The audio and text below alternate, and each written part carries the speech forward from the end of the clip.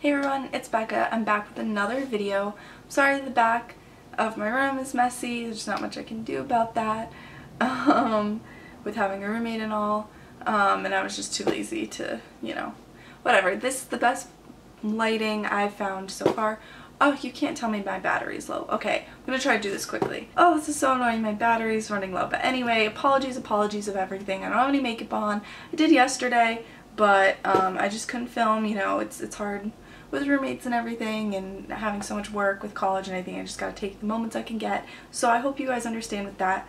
Um, but thank you so much for, um, if you've watched my past couple videos, my declutter series, it's actually gotten a lot of hits, at least for me, a lot of views rather. Um, so that's really exciting. I'm glad you guys enjoy those because I definitely enjoy making them and I love watching declutter videos. So um, yeah, just let me know if you guys have any, you know, recommendations on what other kinds of um, videos you guys would like. I definitely do want to do some reviews, but um, those do take a little more planning. Anyway, let me get into it. These are my September Sephora Play and Ipsy um, unbaggings.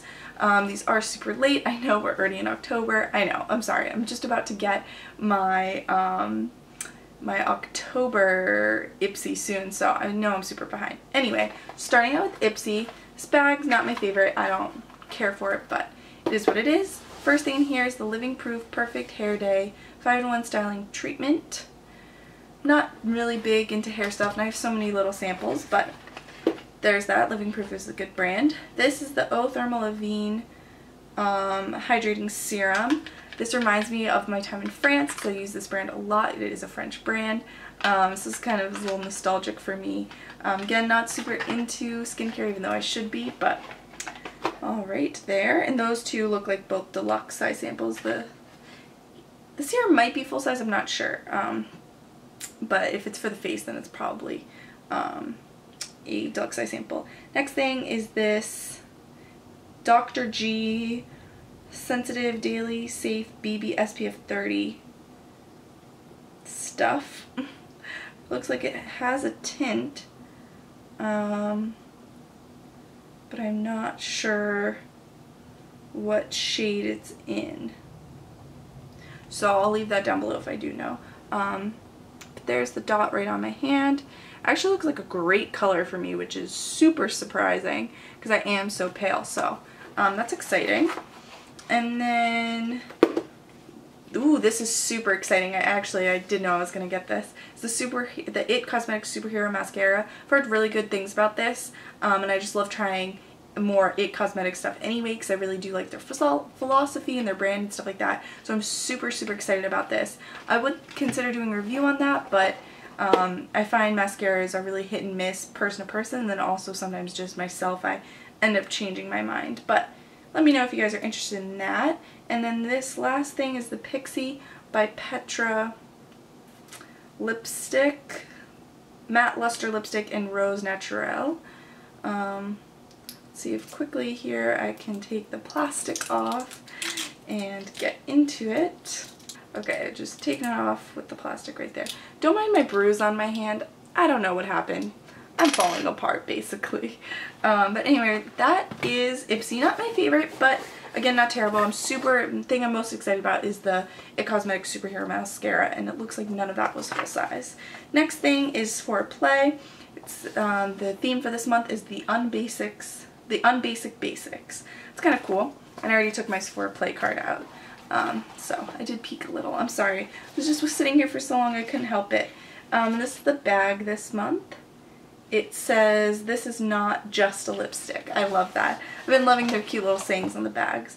The first thing I got was, oh, interesting, also a Living Proof. I guess Living Proof was, um, Living Proof was hooking up with the subscription brands, but this is the Perfect Hair Day Nightcap Overnight Protector. That's interesting. Um, um, it's more of a mask, so that's actually kind of more unique in my opinion. Um, the next thing here is the Anastasia Beverly Hills Clear Brow Gel. I do love this brow gel. I've actually been trying the wax, um, not her wax spe specifically, but just wax in general. Um, but typically if I were to use brow gel, it would be this one. It makes your hair stay in place, and I do love that. Next thing in here is Kat Von D Tattoo Liner Trooper. Um, it's great sample size. I actually already have this and it's actually not my favorite so I might end up passing this along. Um, that's amazing because that's such a cult favorite. That That's amazing. Those Anastasia and the Kat Von D is great. Next thing here is Dr. Jart, Jart Water Drop Hydrating Moisturizer. This actually seems very kind of similar, the two bags. Um, so um, interesting. It's actually a decent sized sample. It's like hefty. I'm not going to open that um, just for sake of time here. And let's see. Um, the other thing is this Sephora Rouge Brilliance Rouge Shine. Oh, that's the front. And we'll get the color name here. Um, or maybe not, but it's really pretty. Oh, I think it's number 14. Um, let's put that right here. It is more sheer, but it's just shiny, nice uh, kind of baby pink. So that's cute. And then the um, the fragrance sample is Tory Burch, um, Jolie Fleur Vert, um, or Jolie Fleur Verte. Um, you know, want to enunciate, whatever. Let's smell that.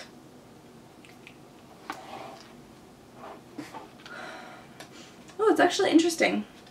I'm bad at describing scents, but it's like a fresh, fruity.